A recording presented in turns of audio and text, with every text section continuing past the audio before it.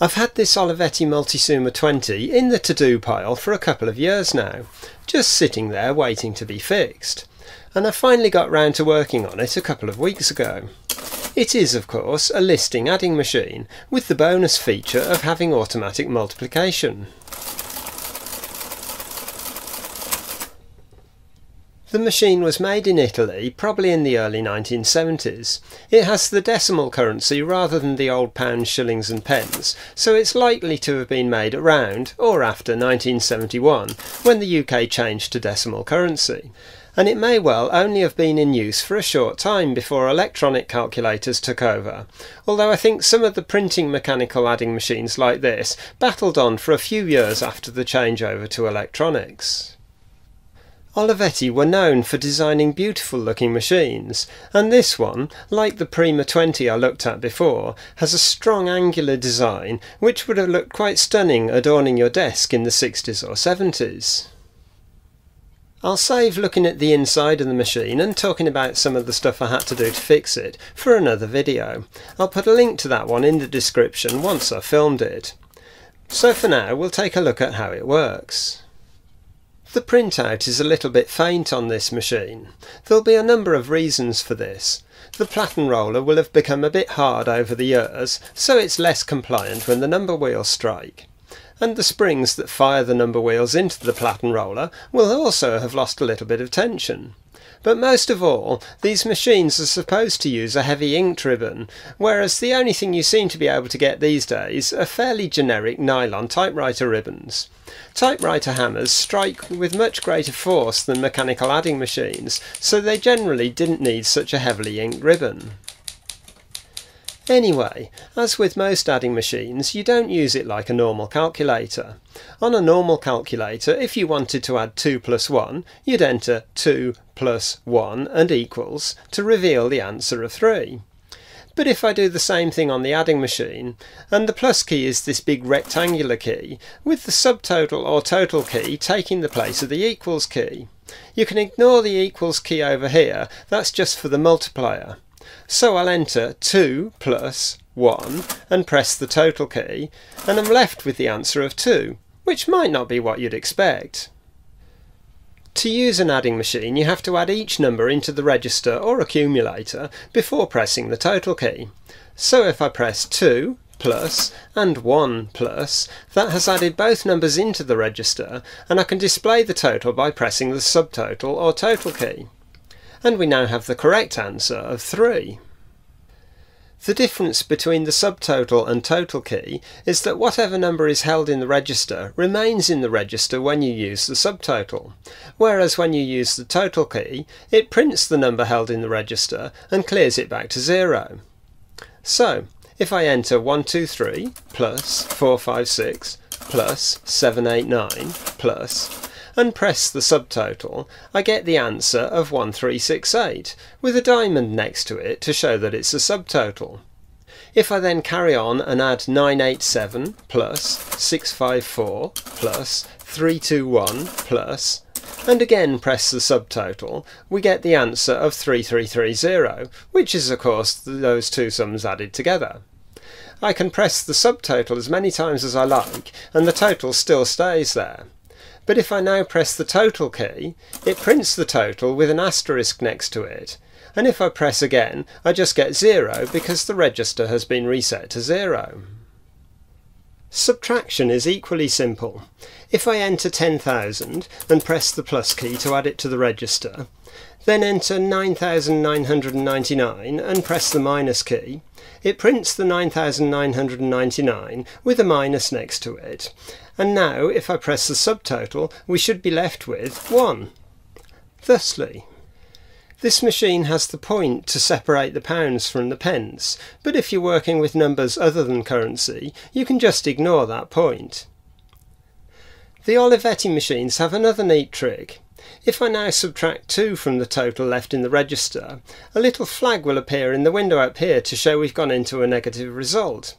Like that and if I print the total, it displays a minus next to the answer. Talking about the window at the top, there's an indicator to show how many digits you've entered into the keyboard, up to a maximum of 9. and as soon as you add that into the register, the keyboard is cleared again. If you know you've made a mistake as you enter a number, you can clear it using the clear button here. If you try to enter more than 9 digits, it will print a letter E for error next to the number you've entered, so you know to clear the machine and start again. The WN or whole number key allows you to work without the two zeros after the decimal point. So if I enter 123 and press the whole number key and the plus key, and 456 and again press the whole number key before adding it to the register, you'll see that both numbers are printed without the zeros. However, when I press the total key, it still prints the zeros, making it maybe a little bit pointless. We've got a double zero key, which just enters a double zero to save you some keystrokes. Some machines in other countries had a triple zero key over here, but this UK version has a half pence key. So if I add twelve and twelve and a half pence and twenty nine and twenty nine and a half pence, it will print the half then if I press total, we're given the answer of 42. Finally, there's a repeat lever here. This stops the keyboard clearing after each addition. On the more basic machines, this would be how you did multiplication, but as this version has automatic multiplication, it would just be used to enter the same number several times. So, if I enter 159 and move the repeat lever down, I can press the plus button several times without it clearing the keyboard. I can print a subtotal at any time and add more of the same number. But as soon as I press the total key, the repeat lever is reset to its upper position. The same happens if I press the clear button. The repeat lever returns to its normal position. One final thing before we look at the multiplier. If I'm working on a big set of accounts and want to enter a reference number that won't be added to the register, I can type in my reference, say 1234, and pull this lever at the back of the machine, and my reference number will be printed with a sideways chevron next to it, but this will have no effect on the total in the register, which should be 3330. And indeed it is. So now for the multiplier. This works exactly as you might expect. If I enter 7 and press the multiply button, it will print 7 with an X by it. Then enter 8 and press the equals button. It will print the 8 with an equals next to it, and then add the 8 seven times to display the result of 56. The first number you enter will determine how many times the second number is added into the register. So if I want to multiply 23456 by 42, I could enter 23456 and press the multiply key, and then enter 42 and press the equals,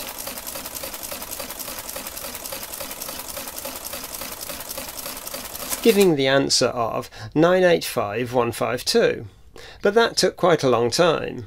If I do it the other way round and enter 42 and press the multiply key, and then enter 23456 and press equals, we get the same answer in a fraction of the time. By default, the result of a multiplication is printed as a total and the register is cleared.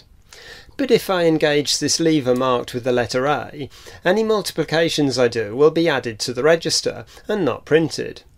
So if I enter 12 times 45 and press equals, it just shows the two numbers I've multiplied but not the result.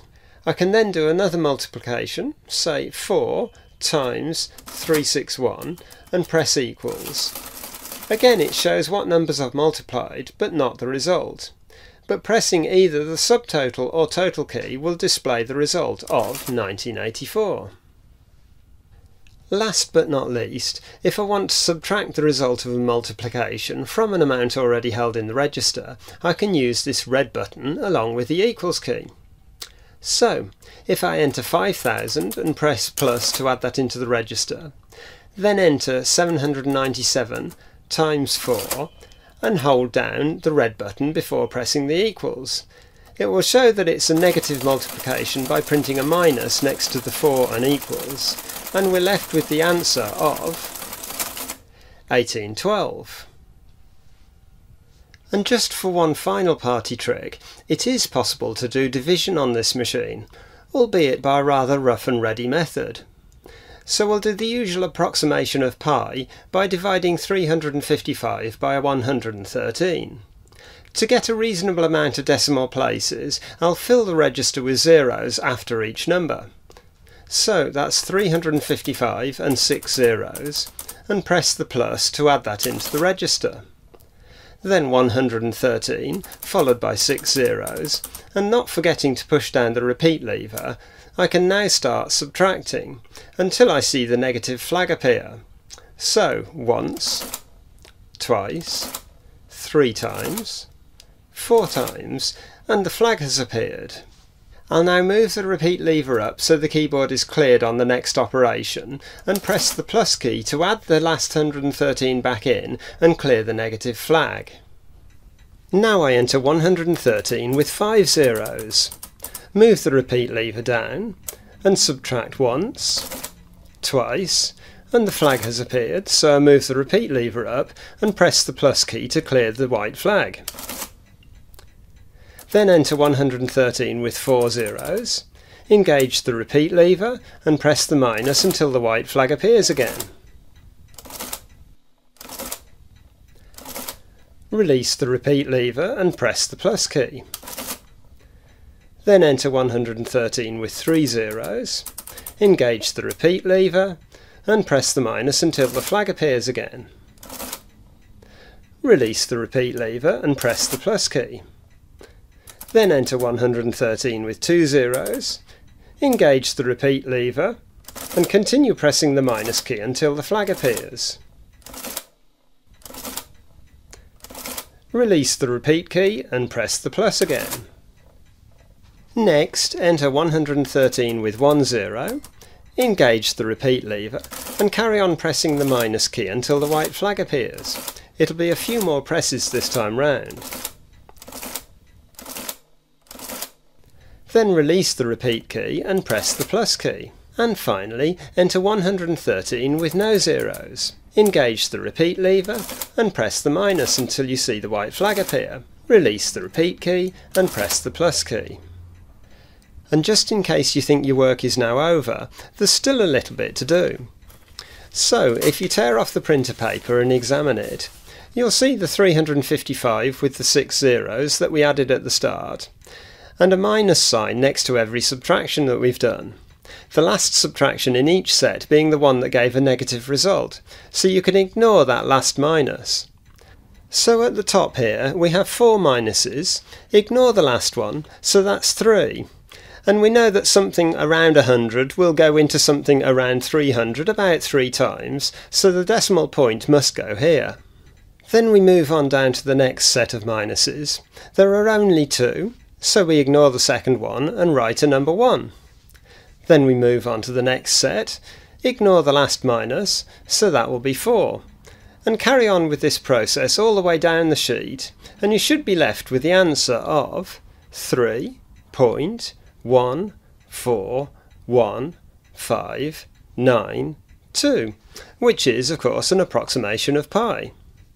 Okay, that's probably going a bit too far, but it's kind of fun in a geeky sort of way. And thanks to Nicolò Geretto for telling me about this method of division on the Olivetti.